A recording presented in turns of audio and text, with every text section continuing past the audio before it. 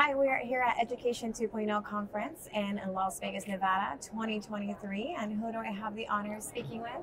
I'm Ioanna Mantzouridou Onasi. I'm the co-founder and CEO of Dextego. That's amazing. Welcome. Thank you. And what does your organization represent?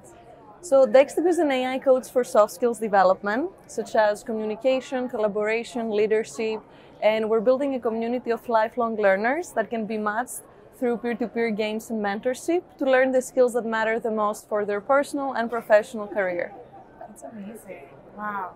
And you are an Education 2.0 Conference USA honoree. Mhm. Now, how did it feel to be recognized for your accomplishments?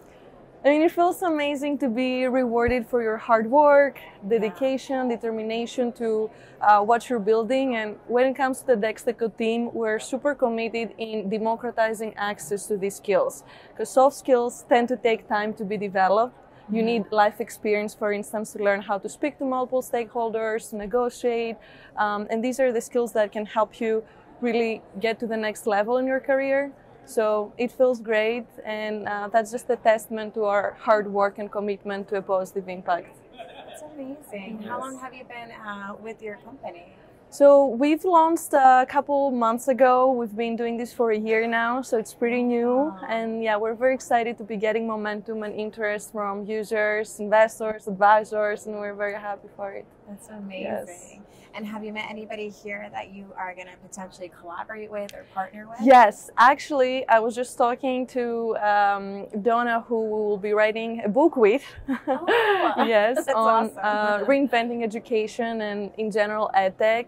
So it's amazing. I mean, the conference has a great caliber of people. It's really about people who want to make that change and are all in. They're not uh, afraid. They just understand the need for a change and they're combining their forces to do so.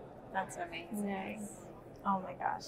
So, where can others reach you for collabora- collaborations, for advice, for just any type of partnership? Yes.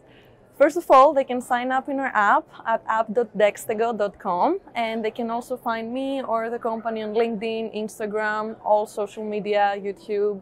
Yes, Anywhere. anywhere.